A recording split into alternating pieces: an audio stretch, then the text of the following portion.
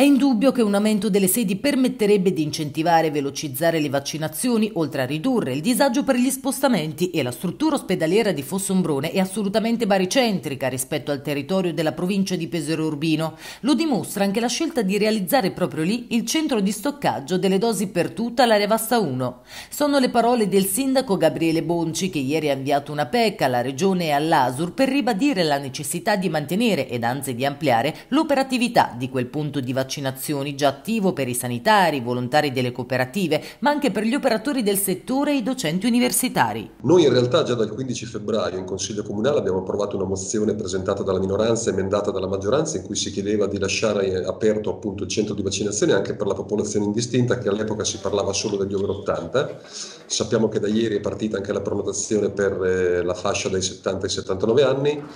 e ehm, Ovviamente la priorità è quella ribadita in tutti i contesti, no? di vaccinare quanta più gente possibile nel più breve tempo possibile, compatibilmente con le dosi di vaccino disponibili, cosa che dovrebbero essere, eh, a quanto ci dicono, un problema in fase di soluzione. Non si tratta di campanilismo, ha precisato il primo cittadino, ma in base ad elementi oggettivi credo che l'ospedale di comunità di Fossombrone possa realmente essere un punto di riferimento, perché oltre ad essere baricentrico ha anche gli spazi necessari. Con un piccolo spostamento logistico, spostando queste vaccinazioni, vaccinazioni infantili all'interno dell'ospedale, già abbiamo visto ci sono degli spazi che potrebbero essere opportuni, anche lasciando loro un ingresso riservato e dedicato, ci consentirebbe di liberare appunto questa palazzina che potrebbe essere adibita alla vaccinazione alla popolazione indistinta.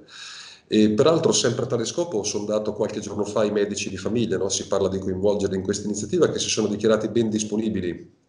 a collaborare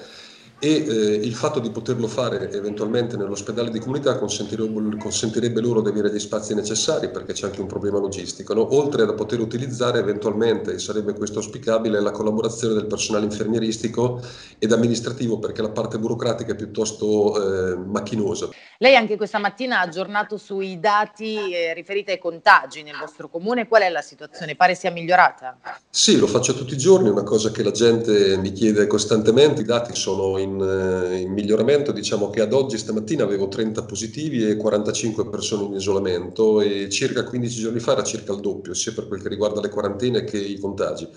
Lo dimostra anche il trend, la regione ci manda un report in cui diciamo, ci dà l'andamento delle ultime tre settimane e vedo che per fortuna Fossombrone nelle ultime settimane è sempre in calo. Ribadisco, adesso non, non, non voglio... Eh, cantare vittoria, dobbiamo stare, continuare a stare attenti ovviamente, mi auguro veramente che questi vaccini si possano cominciare a fare su larga scala in maniera veloce perché poi abbiamo visto, guardavo anche